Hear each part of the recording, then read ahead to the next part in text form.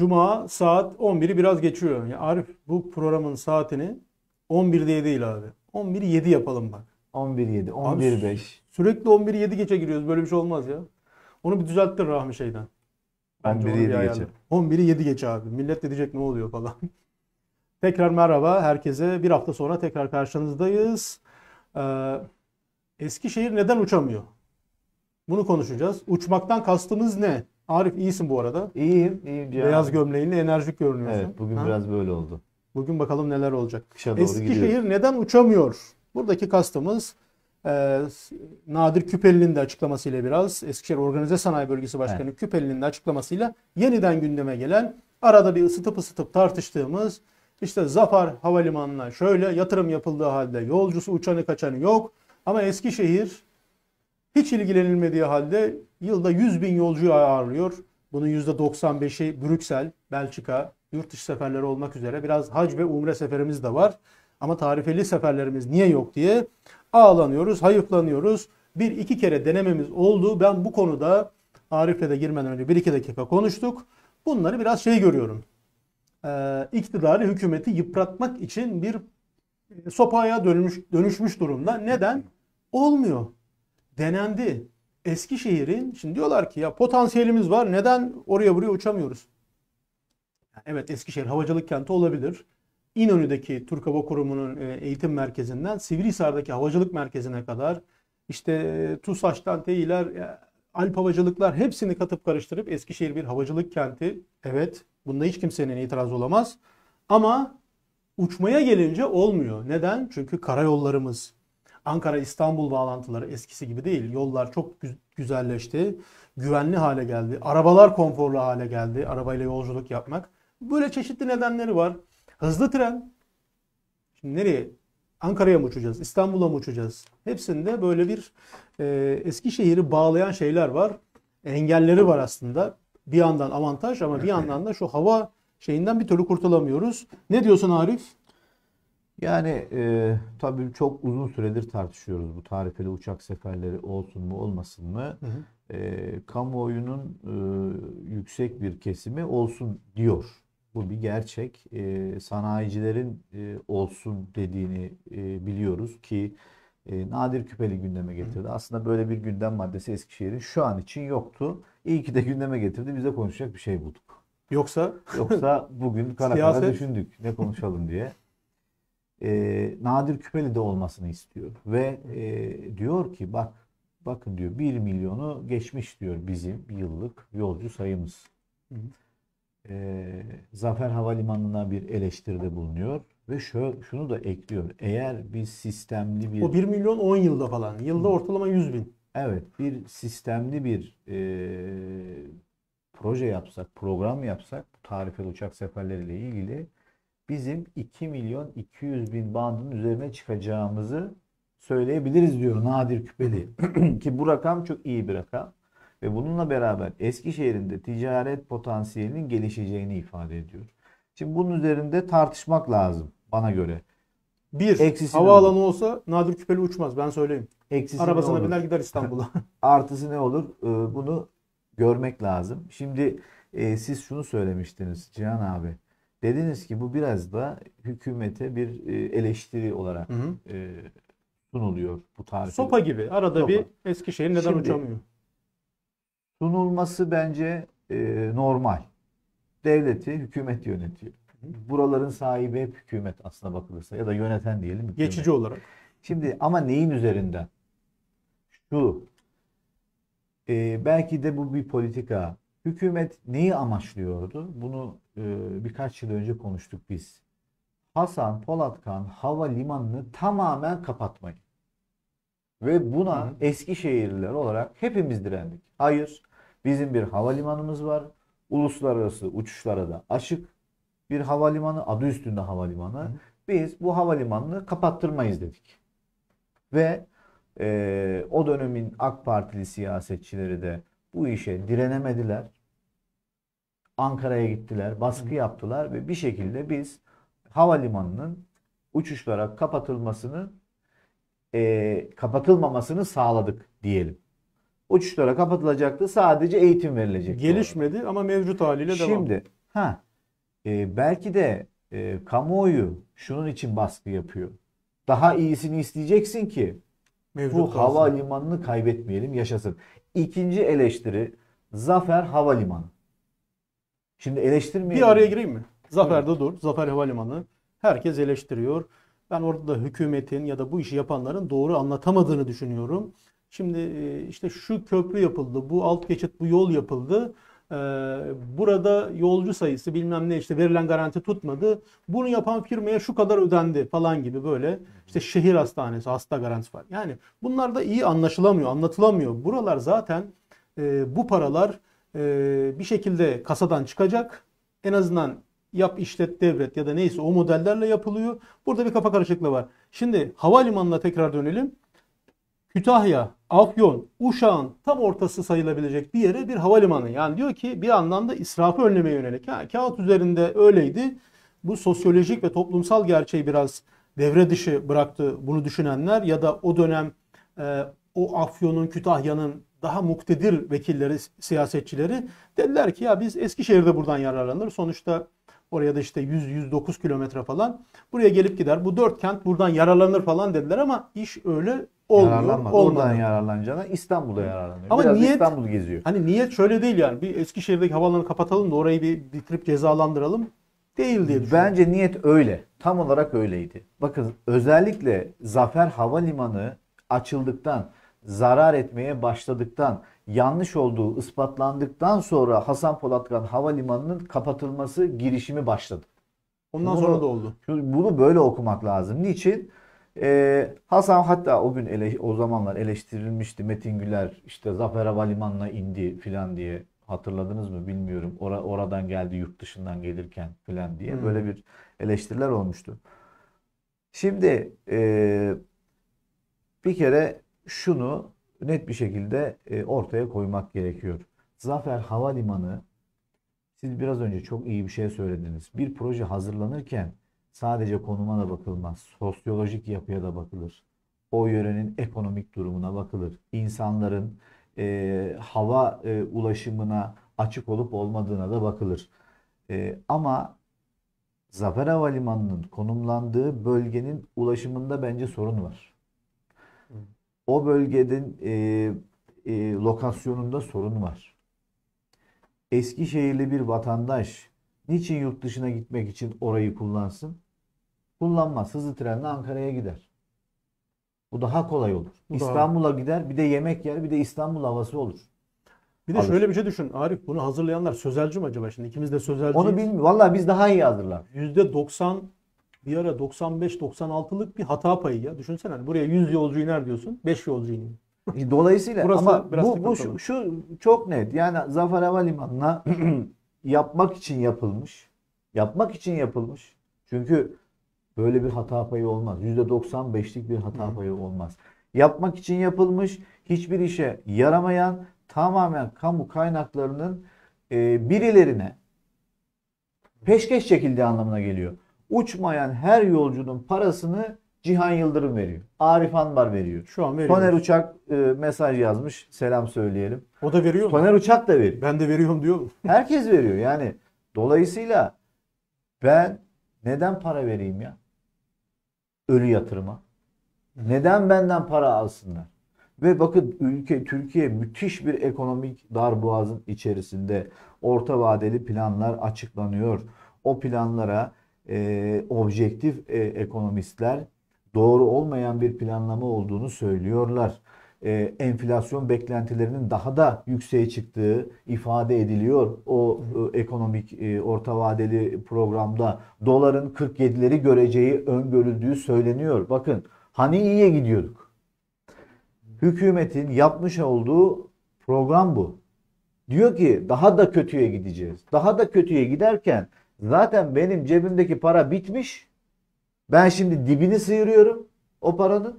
Bir de Zafer, e, Zafer Havalimanı'nda uçmayan yolcunun ben parasını ödüyorum. Onun için söylüyorum. Hasan Polatkan Havalimanı Yılmaz Büyükerşen döneminde imza atıldı. Sonra tartışmalar oldu. Pistin nereye uzatalım, uzatmayalım. Uzatıldı. Emek veren herkese teşekkür ederiz. İyi ki böyle bir havalimanını kazandırdılar. Buradan çok güzel pilotlar da yetişiyor. Hem eğitim noktası Hem hem uçuş. uçuş, noktası. Bana göre iyi bir planlamayla illa Boeing e, Boeing'i tabii onlar denendi ama Boeing'i buraya indirip kaldırmayalım ya. Arif, Boeing'le Minibüs, minibüs, minibüs yok. gibi, O da geldi. minibüs gibi bir daha gelsin. Ama daha o- bak iyi planlamak olmuyor lazım. ama.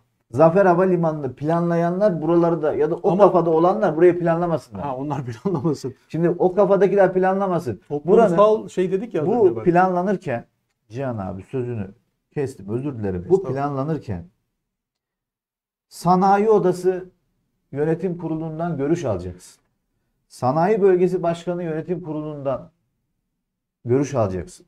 Ticaret borsasından görüş e, ticaret odasından görüş alacaksın. Büyükşehir Belediyesi, Odunpazarı ve Tepebaşı'ndan görüş alacaksın. Senin uzay bilimleri fakülten var. Görüş alacaksın. Senin uçak mühendisliği bölümün var. O üniversitelerden görüş alacaksın. Nereden görüş alıyorsun sen? Yo ben getirdim. Pervaneli uçak bir uçuralım bakalım. Kimsenin haberi yok. Bir de Sabiha Gökçen'in. Kimsenin haberi yok. Ondan sonra e dolmadı bu. Uçak boş geliyor. Boş. Ya böyle bir böyle bir dünya yok. Sen kimseye soru sormadan Zafer Havalimanı'nı yapan zihniyet buraya da o planlamayı yaptı. Sonra olmadı dedi. Bu bence iş bilmezlik ve e, kamuoyunu yanıltmaya dönük, bak olmadı demeye dönük, onun için yapamıyoruz demeye dönük bir bence şey hamle. Bak ilk seferde ben varım. Rahmetli Kemal Unakıtan. Evet. Buradan bindik minibüse nereye? Mudanya'ya. Oradan feribotla İstanbul'a geçtik. Bir yemek yedik. Akşam da e, TK 026 idi sefer sayısı. Yanlış hatırlamıyorsam İstanbul'dan geleceğiz. Geldik. Olmadı. Şimdi bunu isteyen sanayiciler o uçağı desteklemedi Arif. Hepsi o güzel, konforlu, büyük, emniyetli arabalarına binip İstanbul'a gittiler. Olmadı, dolmadı içi. Dediler ki ya koltuk satalım. Şuna bir destek çıkın. 10 koltuk ticaret odası alsın, sanayi odası alsın. Hani böyle bir şeyler o da olmadı. Bizim yapısal sorunumuz var. Havacılık kentiyiz. Tamam o bir yerde dursun. Biz havacılığın uçak motorunu, pilotunu, şenliklerini yapalım ama tarifeli uçuşta olmuyor. İstanbul'a tarifeli uçuş istemek Zafer Havalimanı'nın benzeri modelini buraya da istemektir. Yani bu uçak %20 dollukla gidip gidip gelsin. Onun e, akaryakıtını falan devlet ödesin. Biz ödeyelim demektir. Aynı şey orada tutmamış o model. Onu eleştirirken neden burasını istiyor? Nereye uçacak abi bu uçak? Sonra bir kez daha denendi. Ne abi avcı kulakları çınlasın. Onda Sabiha Gökçen'e indik. O dediğim pervaneli uçak geldi falan. Yani olmadı. İki kere denedi AK Parti benim bildiğim. Bu 20 yıllık süreçte. İki Bir kere önceki denedi. de Birer haftalık. ama, ama bak Birer haftalık. Ya Biraz bir sürece yay. Duyur, et, bakalım. anketler yapıldı. Oluyor mu? Olsa kim uçar? Nereye uçar? İnsanlar dedi ki en sonunda hadi yazlık yerlere uçalım. Bir ara Trabzon, Antep falan düşünüldü. Kim gidecek buradan Antep'e? Bize kim gelecek falan. Oraları bilmiyorum. Yani bu devleti zarara sokacak işleri iktidarı dövmek adına onu sopa gibi kullanmak bence doğru değil. Şimdi ya biz Gemli'ye bağlanmak isteyelim ya. Neden sürekli İstanbul'a uçmak istiyoruz? Ya Arif sen Muğlalısın. Evet. Muğla yani en azından bir Muğla ile bir irtibatın var. Uçar mısın? Sanmıyorum. Muğla'ya Dalaman'a. Dalaman'a. Ben Ankara üzerinden Dalaman'a uçuyorum. Buradan olsa Buradan uçar. Ankara'ya gidiyorum. Ankara'ya. Çünkü buradan Muğla'ya gitmek demek 8 saat, 9 saat. Abi işte insanlar arabayla Öldürüyor, öldürüyor 8 Arabayla 9. gidiyor. Antalya bak. Arabayla da gitmez. 8 saat. Antalya yapıldı anket. Antalya olsa gider misiniz? Vallahi gidilmedi. Ankette bile çıkmadı ya. Düşün bir de o uçağa koysan kimse gitmeyecek. Yani dolmuş uçaktı, minibüstü falan bilmem. Olmuyor. Bence bu sevdamızdan tarifeli uçak sevdamızdan vazgeçelim. Şimdi bizim bir şeyimiz var. Ee, yaklaşık 100 bin. Şimdi biraz artmış Nadir Bey'in açıklamalarına göre. Son ilk e, 2024'ün 7 ayında daha fazla kişi gelip gitmiş. Hac, umre seferleri, Brüksel seferleri. Burası iyi. Böyle durup durup kendimizi ya bu asıl tamam Nadir Bey diyor ki ticareti de diyor artık diyor ekonomimizi diyor baltalar hale geldi. Bu seferlerin olmaması. Bir ara e, Cemalettin Sarar anlatırdı. İstanbul'da buluşurduk diyor yatırımcıyla, mal satacağımız adamla. Sarar ne olur bizi Eskişehir'e götürme derlerdi diyor. Adamlar daha yeme oturmadan yalvarırdı. Sarar bizi Eskişehir'e götürme ama o yol tabii o zaman çok bozuk. Şimdi öyle değil. E, bu şeyden çıkmalıyız. Bu kafadan çıkmalıyız. Gemliği konuşalım. Konuşalım. Nerede? Yani Gemlik liman bağlantısı bu ikimiz de emekli olup gideceğiz artık. EYT'den veya başka bir şeyden. Hala yani bu zarar vermiyor mu? Nadir Bey gündemine bunu alsın. Celalettin Kesikbaş bunu alsın. Gürhan Albayrak bunu alsın. Yani Gürhan Albayrak 3 tane milletvekilimiz sürekli birilerini ziyaret ediyoruz. Bak sürekli. Her hafta üst düzey ziyaretler, parlak fotoğraflar. En son nereye gitmişler? Tarım Tarım, Bakanı. Tarım Bakanı. Ya ne oldu Allah aşkına ya? Diyelim ki İnönü'nün bir kapalı sulama sistemi vardı. Serhat amcanın biz bunu koparttık geldik. Yok. Allah rızası için bir şey yok ya. Kaç aydır görevde. Vekillerimiz öyle. Ya bir bir şey koparıp gelin ya. Şuraya bir okul yaptıracağız. Buraya yani ne yok? Sıcak siyaset. Fotoğraf, siyaset çok sessiz. Şundan vazgeçelim uçuşlardan. Evet. Ya o konuda e, ben e, sizin gibi düşünmüyorum Cihan abi. Çünkü bana göre biz ısrar etmeliyiz tarifeli uçak seferleri konusunda. Israr etmeliyiz. Daha sistemli Bu konuda yapmalıyız. ısrar etmiyorum. Daha sistemli yapmalıyız. Zafer Havalimanı'nın kafasıyla buraya tarifeli uçak seferi programını e, yapan e, kafayla yapılmamalı tabii. Dediğim gibi buradaki akademisyenler, devlet ha- hava meydanları işletmeciliğinin uzmanları, belediye başkanları, e, milletvekilleri, gerekiyorsa sendikalar çünkü artık şimdi eleştirelim tırnak içinde sendikalarda ağlaştı. Sendika ağları var. Onlar da uçaklarla geziyorlar. Yani otobüse minibüse binen sendika Bizde de var mı? lideri falan yok. Bilmiyorum yani var mı yok mu falan. Onun için yani toplumun tüm kesimleriyle görüşüp, uzlaşıp yapalım mı, yapmayalım mı ve programlayalım mı, programlayalım. Bunu da yaparken bir tane uçuş yaptık olmadı. İki kere uçak kaldık. Böyle olmaz bu. Bir sürece yayalım. Bir 3 aylık, 6 aylık, 9 aylık, 1 yıllık periyoda yayalım. Ondan sonra bakalım. Olmuyor mu? Tamam, rafa kaldıralım. Biz bunu yapmamışız ki. Antalya'ya hızlı tren Biz geliyor. bunu abi. yapmamışız. Antalya. Evet, 3 saat, 3,5 saate düşecek. Bitti. Kim biner abi? Binebilir. Ya bir de geleceği de biraz kurgulamak lazım. Bir 5 yıl sonrasına bak. Şimdi babam geçen hafta memlekete gitti Yozgat'a. Buradan Ankara'ya, Ankara'dan Yozgat. Tam bitti gitti. Oradan Sivas'a gidiyor tren hali. Yani 3 yıl 5 yıl sonra Eskişehir'in gündeminde uçak diye bir şey olmayacak. Yani yurt dışı bağlantısı o da yetiyor işte. Yani çok uçup kaçmaya gerek yok Bence diye uçup düşünüyorum. kaçalım. Tarifeli uçak seferinde ısrar edelim. Israr edelim. ki İstanbul'da. Daha iyisini isteyelim ki. İstanbul. İstanbul'a ısrar edelim. Edelim. İzmir'e ısrar edelim. Bu, bu ısrarcı olalım. Ee, güney'e ısrar edelim. ısrarcı olalım. Hı hı. Israr edelim ki bizim Hasan Polatkan Havalimanı'nı tamamen kaldırmasınlar, yok etmesinler. Bir de böyle bir gerçek var. Biz ısrar O edeceğiz. kalkmaz. Onu kaldırmaya çalışanlar şunu bilmiyor. Bak Emirdağlılar, hemşerilerimiz, gurbetçilerimiz, Eskişehir'in e, gerçekten bugün geldiği noktada ekonomi, kültür, sanat her şeyde katkısı olan insanlar. Sivil toplum hayatına bakın. Ya Emirdağlılar olmasa biz yönetici bulamayacağız abi o derece. Ama Emirdağ'a gitmiyorlar. Yani sen onları Zafer Havalimanı'na falan indiremezsin. Adam Emirdağ'a gitmiyor ya. Direkt Eskişehir'e Evet. geliyor. Mümkün değil. Şimdi- o yüzden dedim toplumsal ve sosyolojik şeyleri de göz ardı Cihan abi gemlik konusunu da açtın. Bir iki Ee, cümle alalım. Önemli, önemli. Yani ben gazeteciliğe başladım. Gemlik tartışılıyordu. Bizden önceki üstadlar e, gazeteciliğe Tartıştı. başladıklarında tartışıyormuş. Onların bir önceki ekolü tartışıyormuş ve hala bağlanamamış. E, şimdi e, Gürhan Albayrak e, la bir hatta beraber oturmuştuk. Hı hı. E, çay sohbeti yapmıştık. O zaman da e, Gemlik Limanı ile ilgili ciddi anlamda uğraştıklarını çalış hatta Uraysim'le ilgili uğraştıklarını çalıştıklarını falan anlatmıştı. Teşekkür ederiz. Uğraşsınlar, çalışsınlar tabii. Ama şu ana kadar bir çıt yok, ses yok. Çok haklısınız o konuda. Tamam bir görüşme oluyor. Sürekli bir görüşme, bir ziyaret gerçekleşiyor ama günün sonunda e, koparamadık. Yani koparabildik. Eskişehir müjde var diye Yok. bir e, açıklama yok. Ha Gürhan Bey daha yeni gelmiştir, yeni atanmıştır.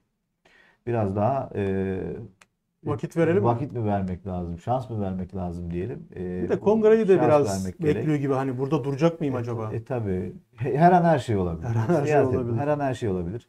Celalettin Kesikbaş'ın, Nadir Küpeli'nin Sürekli bu konuda açıklamaları var. Bir şeyler yapmaya çalışıyorlar Gürhan ama Albayrak'ı alıp mesela siyasetçi olamadıkları, olmadıkları için değiller. mi? çok da değiller bence. Bence büyük Si- siyasetçiler. Siyasetçi değiller. Ha, siyaset yapabilirler. Ama siyasetçi değiller. Siyaset yapıyorlar. Her şeyin içinde bir siyaset. Biz de siyaset yapıyoruz. Gürhan Yani. Albayrak'ı alıp Süleyman Reyhan'ı getirseler şaşırır mıyız? ben tekrar gel. AK Parti'de olacak hiçbir şeye şaşırmam Ankara'ya tırnak içerisinde kimsenin biz e, ne bileyim böyle kişiliğine, kariyerine, karakterine bir şey demiyoruz ama tavşan aday diye bir şey vardır değil mi? Ankara'ya tavşan aday diye götürülen adaylar son dönemde böyle ilçe başkanı olup olup geliyorlar. Ya abi ben adam çıkınca böyle oluyor. Ya ben mi atandım ne oluyor falan şimdi bu bendim falan gibi. İsim vermeyelim ama son dönemde böyle. Hani ulan il başkanı bunu dedi, milletvekilleri bunu dedi. İkisini de yapmayalım, bir denge gözetelim derken Evet. bütün siyaseti alt üst ediyorlar. Biz siyasete girdik mi bu arada? Girdik AC'den gördük. Girmişiz. Siyaset neden Oo, sessiz? Süper. Sessiz bu arada. Şimdi şu sanayi e, Ayşe organizasyon- geçen çok güzel Evet. bak yazının içinde bir cümle vardı. Şimdi tamamını hatırlayamayacağım muhtemelen de. Ee, iktidarın sağır, muhalefetin kör mü? Böyle bir şey vardı. Böyle bir kör topal gidiyoruz işte. Ee, Şimdi liman bağlantısıyla ilgili bir gelişme var. Oradan siyasete ben de gireyim. Celalettin Kesikbaş bu orta vadeli planı e, yorumlarken bahsediyor mu? şunu demiş. Orta vadeli programda yer alan üretim merkezlerinin demir yolları ile limanlara bağlantı projelerini hızlandıracak olması Eskişehir açısından son derece Hı. önemlidir diyor. Hı. Yani demek ki orta vadeli planda biz bu e, liman bağlantılarının da hızlandırılacağını görüyoruz ki Celalettin Kesikbaş Eskişehir açısından e, umutlandığını bir nevi Bir söylemiş. cümle- bir İnşallah Eskişehir'i alırlar programa. Bir cümle söyleyeyim sonra siyaset neden sessiz? Bir iki dakika sana bırakacağım ve kapatacağız. Kesikbaş'ın, e, Nadir Küpeli'nin ya da herhangi bir Eskişehirli'nin iktidar muhalefet fark etmez. Ankara'dan bir, se- bir şey isteme şekli şu. Uğur Mumcu katledildi. Eşinin evine gelen gidenler var Güldal. Bütün devlet orada ama. Devletin bütün her, her günde açıklama var. Katili bulunacak, kanı yerde kalmayacak. İşte tamam tuğlayı çekersek duvar yıkılır falan diyen de var ama genelde kamuoyuna yapılan açıklamalar bulunacak, bulunmak üzere, peşindeyiz falan gibi. Bir gün Gülden Hanım diyor ki ya herkes diyor böyle bulundu bulunacak diyor da neden bulunmuyor ya diyor yani devlet ya düşünsene bütün kademeleriyle. Orada Sayın Mumcu diyor ki Gülden Hanım hanımefendi bize bulun diyorlar. Bulun ulan demiyorlar. Bak şimdi e, aynı ses tonu, aynı manzara. E, bunu buraya bağlasak iyi olur. Ya bu Gemlik Limanı'na Eskişehir sanayisi bağlansın. Bağla ulan değil ama. Bağlayın ulan değil. Yani bu ulan tabii ki argo anlamda değil. Böyle isteyerek de bir şey olmaz. Siyaset Evet. Gaz alıyorlar. mi? Bizim gazımızı alıyorlar, geçiyorlar. Alıyorlar. Şimdi siyaset bizimkini alamıyorlar böyle göre. Cihan abi evet. siyaset sessiz. Yerel seçimlerden çıktık. İnsanlar yoruldular. Hı. Ee, bazılarının umutları gitti. Şimdi e, yerel seçimlerden önce e, ses çıkaran pek çok e, aktör e, de e, bir şekilde hakkı yendi. E, onlar da bir köşesine çekildi. Vakit bekliyorlar. Örneğin AK Parti'yi değerlen- değerlendirelim. Murat Özcan. Hı hı. E, CHP'den de e, Murat Özcan gibi isimler var. E, biraz sessiz. Ama aslında bana göre sessiz de değil. Biraz e, iğneyi de kendimize batıralım. Yani biz gazetecilik camiasına kendimi de eleştiriyorum bu noktada. E, şimdi siyaset her yerde. Bizim şu an bu programı yaptığımız e, anki konuşmalarımız da bir siyaset. Siyaset olmadan zaten yaşam olmaz, gelişim olmaz. Her şeyde bir siyaset var. Örnek veriyorum. Biz siyaset e, dediğimizde işte AK Parti'nin milletvekili şunu söylemiş, CHP'nin belediye başkanı bunu demiş, İyi Parti'nin il başkanı konuşmamış. Biz siyaset olarak hep bunlara e, anlıyoruz. Bu bizlerin kolayına geliyor. Bir şey dese de hadi oradan bir eleştirsek, hadi oradan bir Aa, aferin iyi yaptın. Siyaset Anadolu Üniversitesi'nde var. İşte futbol takımı ile ilgili sponsor mu alındı, alınmadı Hmm. mı filan, rektör değişiyor, değişmiyor. Bunların derinlemesine işlemiyoruz. Siyaset Satıldı iddiası bile var ya. Ha. Siyaset sağlığın içerisinde var. Biz tıp fakültesine bakmıyoruz. Ee, Yunus Emre Hastanesi'ne bakmıyoruz. Şehir Hastanesi'ne bakmıyoruz. Orada pek çok şey var. Siyaset. Eğitim, İl Milli Eğitim Müdürlüğü, ilçe Milli Eğitim Müdürlükleri bunların hepsinde siyaset var. İklim e, değişikliğiyle ilgili çocuklara eğitim veren Odunpazarı Belediyesi geçen yıl mesela bu yıl sınıflardan atıldı. Alınmıyor için. Alın size siyaset. Mesela bun- bunları daha pek çok şey var. Okula gidip mi veriyordu? Okulun, okulda e, cemaatlerin nasıl örgütlendiğini konuşmuyoruz. Nasıl örgütlenmeye çalıştıklarını konuşmuyoruz. İşte siyaset. Okullarda işte A okulunun e, kayıt parası için 70 bin lira istemişler. B okulunun kayıt parası için 30 bin lira istemişler. Biri seni sallandırırım deyip bir veli tehdit etmiş. Tamam ama 2 bin lira alalım bari sizden. Hani 2'yi de almak zorundayız filan demişler. Ondan sonra İl Milli Eğitim Müdürü açıklama yapıyor. Ee, para alan müdürün anahtarını alırım diyor. Yani az önce dediniz ya siz ulan Almayın ulan. almayın ulan. Almayın ulan demiyor.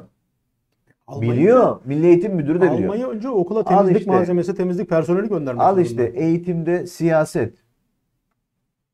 Şimdi kayıt ha, biz, başlı biz bunları işte orada yolsuzluk mu var, uyuştu şey başka bir şey mi var? İşte bunun belgeleri geldi gelmedi. Biz bunu yazdık ya- yazamadık. Yazamıyoruz. Derinlemesine işleyemiyoruz, konuşamıyoruz. Neden? Bir şey söylediğimiz zaman savcı çağırıyor. Hadi ifadeye git. Hiçbir şey olmasa o e, adliyenin soğuk duvarlarına böyle elimizi filan sürüyoruz. Hı. Adliyenin soğuk duvarının bir sonraki aşaması hapishane çünkü. Şimdi böyle bir durum var. Kendimizi eleştiriyoruz. Bunlardan ama, da bir şey olmaz abi. ama bu niçin oluyor? Bugün bakın e, iki tane gazeteci ölümle tehdit ediliyor. Açık açık. Hı hı. İki tane gazeteci açık açık ölümle tehdit ediliyor.